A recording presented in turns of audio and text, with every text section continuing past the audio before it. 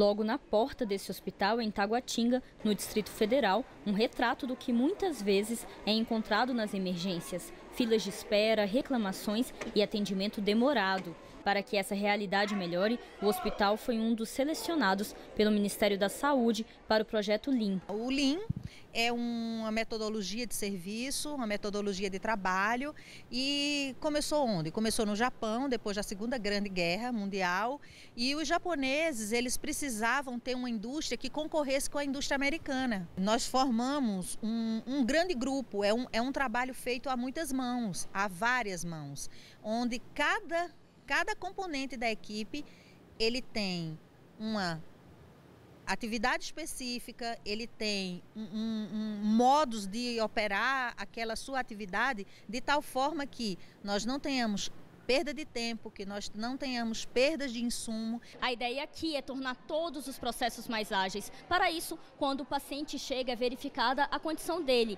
e ele é encaminhado para o setor responsável, cirurgia, clínica geral ou traumatologia, por exemplo. Os funcionários do raio-x e do laboratório já são avisados do tipo de tratamento que ele vai passar e se organizam para atendê-lo. Tudo de forma integrada, para que o atendimento seja feito de forma mais rápida e melhor.